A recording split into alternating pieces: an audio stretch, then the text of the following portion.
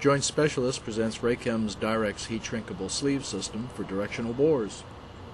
The system includes a two-part liquid epoxy primer, a fiberglass reinforced sleeve, and a fiberglass reinforced wear cone.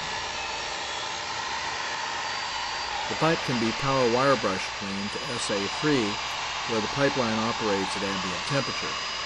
For pipelines operating at elevated temperatures, the pipe must be grit blasted to SA2.5.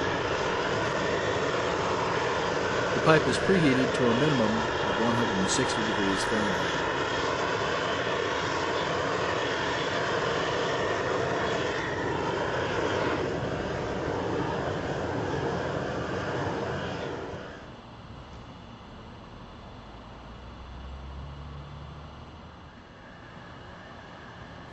The DIRAX epoxy kit includes the two epoxy components, a mixing stick, an application pad to apply the epoxy to the pipe.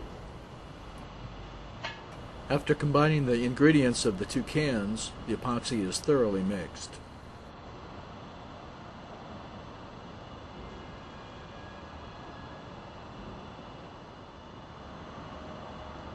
The epoxy is applied to the bare steel, and if the pipe is coated with FBE, the epoxy is applied over the factory coating.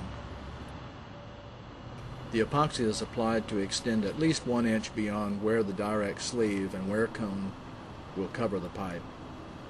The DIRAX sleeve is wrapped around the pipe and centered over the weld. The closure is heated to secure the wrap around the pipe. The closure is heated until the texture of the fiberglass reinforcement can be seen on the closure surface.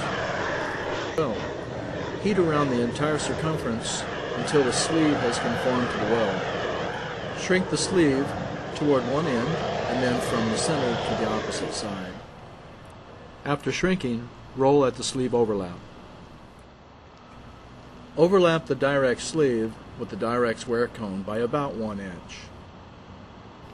Heat the closure and shrink the wear cone in the same manner as the DIRAX sleeve. When complete, roll the wear cone overlap.